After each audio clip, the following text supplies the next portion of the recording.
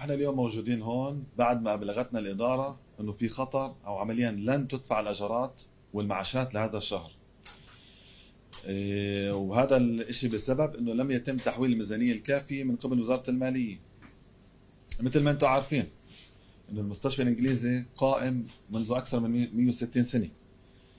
وخلال السنوات العشرات السنوات المستشفى الإنجليزي لم يتم الميزانيات الكافية. لم يتم تحويل الميزانيات الكافية. فيش ميزانيات بتوصل لهون مثل المنازل. وهذا بينعكس هذا بينعكس بشكل ملموس على ظروف العمل وأيضا على إعطاء فرص. الخدمات اللي لازم نعطيها للجمهور بشكل متساوي. مثل ما أنتم عارفين إحنا عايشين باكثر من أكثر الدول المتطورة ومتقدمه بالعالم. مش من المعقول إنه إحنا هون كسكان الناصري نأخذ خدمات صحية درجة ثانية سوق بيت من حسين مش معقول. مش معقول أنا آخذ درجة آخذ خدمات هون كمواطن أقل من اللي باخذه بالمركز. عشان إيش؟ عشان أنا ساكن هون بالناصري هذا إشي مش معقول ومش مقبول شيء بتاتا كمان مش معقول. فيش سبب بالعالم إنه أخلي أنا أنا أشتغل هون بالمستشفى آخذ أجار أقل. أقل وعدد عاملين أقل. هذا إشي مش مقبول ومش معقول شيء. كمان حسب قانون وزارة الصحة وكبروت مملكتي من سنة 1995 اللي هو بنص إنه إعطاء جميع السكان آه، خدمات صحية بشكل آه، متساوي مع آه، فرص بشكل متساوي. مش معقول إحنا نضل نأخذ خدمات أقل من ما غيرنا. في لازم نطالب إحنا بالمساواه لازم يكون في مساواة. وهي المساواة عشان إحنا نقدر نوصل لمساواة للمستشفى لازم في يكون في سد فجوات اللي هي الوزارات والحكومات فتحتها على مدى عشرات السنين وهي سد الفجوات تحتاج لمصاري تحتاج لتحويل ميزانيات كافية للمستشفى عشان يقدر يوقف ويكمل آه، بالمسيرة تاعته فلا يمكن إنه أنا أشتغل هون بالمستشفى الإنجليزي اللي باخذ ميزانيات أقل بضرب اثنين أو ثلاثة من المستشفيات زي صفد ونهرية وبورية وإخلو. هذا مش معقول. وإحنا بنعطي نفس الخدمات اللي بعطوها باقي المستشفيات هاي. ليس أقل. يعني بكفي. إحنا زينا بكفي. هذا الإشي بكفي. صار إشي طفح الكيل. مش معقول. مش معقول إحنا نضل بهذا الوضع. عشان فيش تحويل ميزانيات عشان في تفرقة. بتحويل الميزانيات هاي. شعارنا الكبير اليوم المساواة في الخدمات الصحية.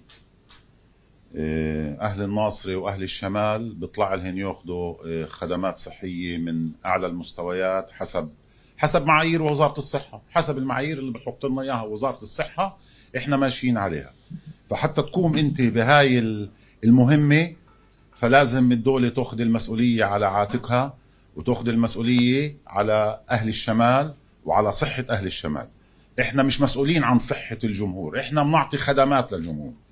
وإحنا بنحاول نقدم الخدمات من أعلى المستويات. عندنا من أحسن الأطباء اللي ممكن يكونوا موجودين في أي مستشفى في البلاد ويكونوا مدراء أقسام في أي مستشفى في البلاد. آه، خدماتنا من أعلى المستويات ولكن وصلنا لوضع يا إخوان اللي إحنا بطلنا نقدر نتحمل. أنا يعني 34 سنة بهذا المستشفى كمان أربع سنين بطلع تقاعد. أنا 34 سنة عايش بهاي ال بهاي ال ال ال ال بهذا الموضوع إنه كل شهر كل كم من شهر في عنا أزمة أزمة مصاري وفي عنا كيف ندفع المعاشات. قبل كم من سنة عملنا آه، تخفيض من من آه، معاشات العمال والدكاترة آه، عشان تكونوا عارفين يعني عمال وأطباء مستشفى الناصري ما أظنش إنه في مثلهم بالعالم. فيش عامل بتبرع للمؤسسة اللي هو بيشتغل فيها.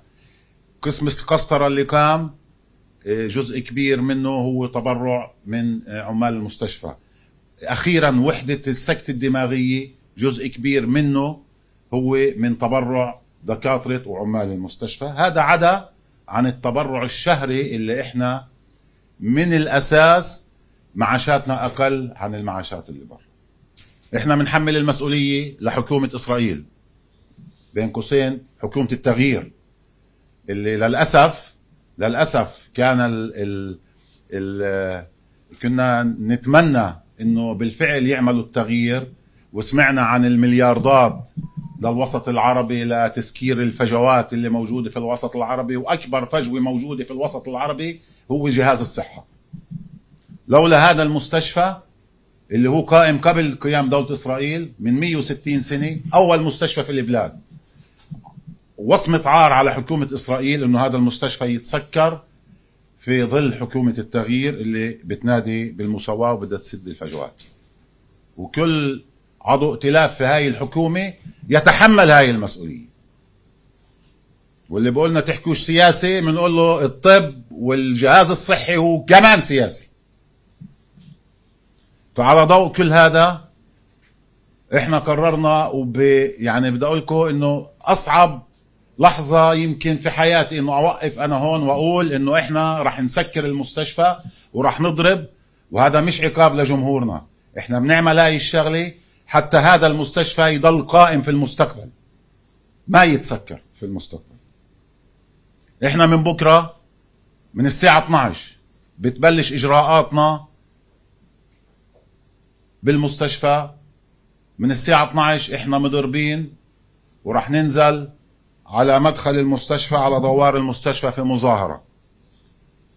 يوم الخميس والجمعة إضراب العيادات الخارجية فيش استقبال جمهور وإلغاء كل العمليات المبرمجة كلها باستثناء العمليات المستعجلة والسرطانية ومن بعد يوم الجمعة جايين على السبت والحد حسب شو بيكون الوضع. إذا يوم السبت أو الحد شفنا مصاري في البنوكي وإحنا مش عم نطلب تسكيج من الدولة إحنا عم نطلب حل للمدى البعيد. إحنا بدناش نيجي الشهر الجاي ويجي علينا نفس الموال.